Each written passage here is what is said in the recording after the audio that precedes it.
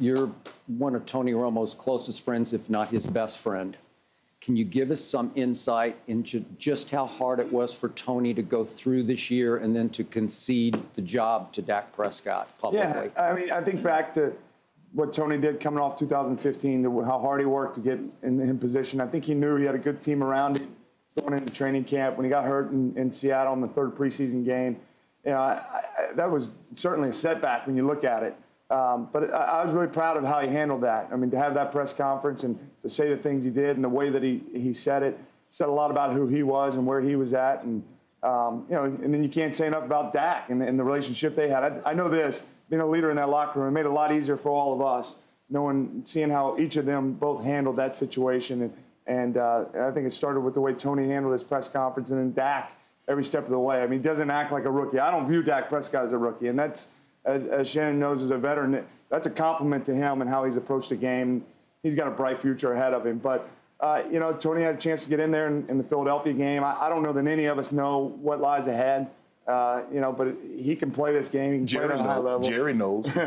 Jerry certainly does. Jerry certainly does. And, and, you know, those guys are intelligent. You know, Tony and, and, and Jerry and Coach Garrett. I mean, I'm sure they'll spend some time and evaluate it and see how it plays out. Did, but did Tony, Tony, did for a long time. I mean, he played he at a high, high level. Did Tony ask you for any advice before he made that concession speech? Did, did you talk it through with him? No, we didn't really talk a whole lot through it. I mean, I, I think, you know, the time was coming that I think everybody was knowing that he was eventually coming back here. And uh, I, I think he, he put a lot of thought and time into how do you go about that? Do you take questions? Do you don't take questions? Do you, do, how, do, how does something like that transpire? And, uh, I thought it, it, was, it was beautiful in the way that he approached it, and, and it was very heartfelt. It was honest, uh, sincere, and, and uh, I think it was the right way to go about it. And it says a lot about him. And, and I know it probably helped Dak and all of us make that transition mm-hmm. moving forward so that it wasn't a distraction. And I think ultimately that's what he wanted. So do you feel like right here, right now, it's Dak Prescott's football team?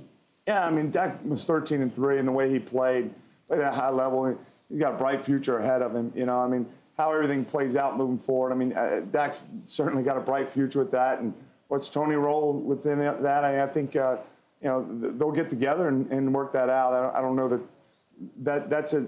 I think what Dak's shown through his first year that ultimately, you know, what our football team's trying to do moving forward. I think that's clear. You made the. You said that you don't view Dak as a rookie. What makes him unique?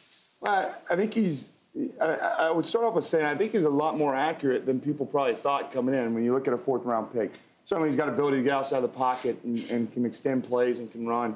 But uh, his ability, his accuracy. But to me, it's not even with the ball in his hand. It's the intangibles that he brings day in and day out. He doesn't act like a rookie in that how he handles meetings, how he handles the press, his workouts, uh, the way he converses with his teammates and, and engages. All those things. He seems you know, a little bit older than his years. And then his play, he's very poised when he's out there in the field. So I think a lot of that he's seen Tony do and, and the interaction that he's had yeah. with those guys and good people around him. And uh, I think that's the thing that stands out most with him. How much easier would it be for Dak to continue to grow next year if Tony weren't on the team? I don't think that has anything to do with it. I mean, I think Dak would say Tony was always helping him uh, on, within games and thinking about this and – and uh, you know, I think what you saw in that press conference was it was really Tony's heart, and uh, he was always there to help in whatever role he can do, and, and, and talk with him, and hey, maybe think about this, and so I mean, Tony was in that in those shoes at one point in time too, and so. I think there's a, respect that goes in with that, and uh, I know those two handle this, this extremely difficult situation. They both can play the position at a high, high level. Do you think Tony, as a starter, you know, once you become a starter, it's hard to go into a backup role. Do you think Tony could be comfortable in a backup role? Yeah, I, I don't. Know on that, that, team, yeah, I don't know that that uh, I can answer that. I mean, I, I think he. You know, I know he's one of the most competitive guys I know, mm-hmm. and uh, you know, I, I, don't know that that's ever been discussed and, and, would even be talked about. But you know, I, am sure if you know if he's wanting to play, then his expectation is that. And so where that is and how that transpires, I mean, I think Eh, as you said, Jerry and, and, and some of those other guys will get together. They're, in, they're intelligent. They're going to think it through, and they're going to do what's best for both of them. Brought to you by 84 Lumber. Are you 84 material?